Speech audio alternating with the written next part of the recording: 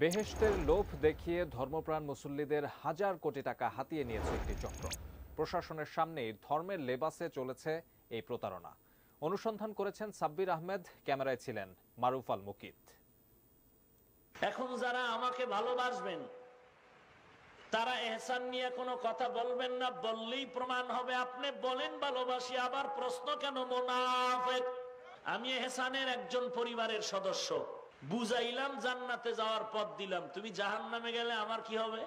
এসব কথায় বিশ্বাস করেই সাধারণ মানুষ এহসান গ্রুপে বিপুল অর্থ বিনিয়োগ করে, যে গ্রুপের চেয়ারম্যান মুফতি মাওলানা রাগিব আহসান।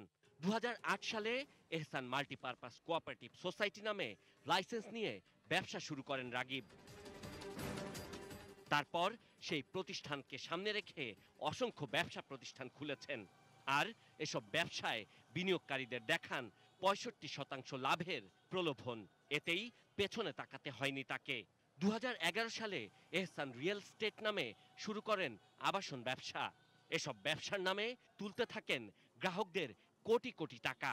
কয়েক বছর মুনাফা দিয়ে গ্রাহকের বিশ্বাসও অর্জন করে এহসান গ্রুপ। দশ বছর হয়ে গেছে, তখন ওই মাসিক টাকাটা যখন অ্যামাউন্ট বড় হয়ে গেছে ওই সময় টাকা যখন দেওয়া শুরু করছে তখন তার টাকা টান পড়ে গেছে। ব্রেন ওয়াশ করতে হবে মানে মসজিদে বসে নামাজের পর বুঝে দিতে যে এইখানে যে টাকা রাখবে সে জান্নাতে যাবে। তাহলে এটা যে আল্লাহর এই ব্যাংকে টাকা রাখা হবে। ভুক্তভোগীরা বলছেন পবিত্র গ্রন্থের দোহাই দিয়ে তাদের বলা হয়েছিল এহসান গ্রুপে টাকা রাখলে হালাল বিনিয়োগ হবে। আমি দড়িয়ে মরতেও পারি না। আমার মা বিনা চিকিৎসায় মারা গেছেন।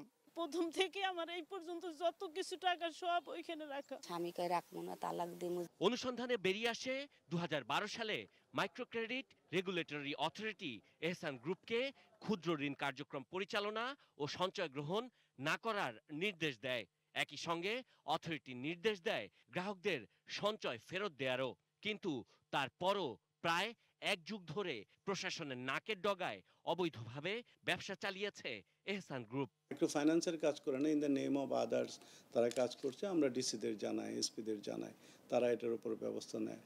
ইউনো জেলা প্রশাসক পুলিশ তারা যদি সক্রিয় থাকে তাহলে এই ধরনের কাজ অবশ্যই বন্ধ হবে। কিন্তু তারপরও প্রায় এক যুগ ধরে প্রশাসনের নাকের ডগায় অবৈধভাবে ব্যবসা চালিয়ে গেছে এহসান গ্রুপ। পিরোজপুর, বাংলাদেশ।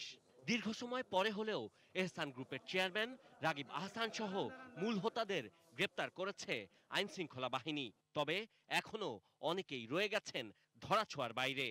কিন্তু প্রশ্ন, গ্রাহকরা কি তাদের টাকা ফেরত পাবেন? এটা র্যাপিড টাকা পাওয়ার কোনো আইনি বিধান নাই।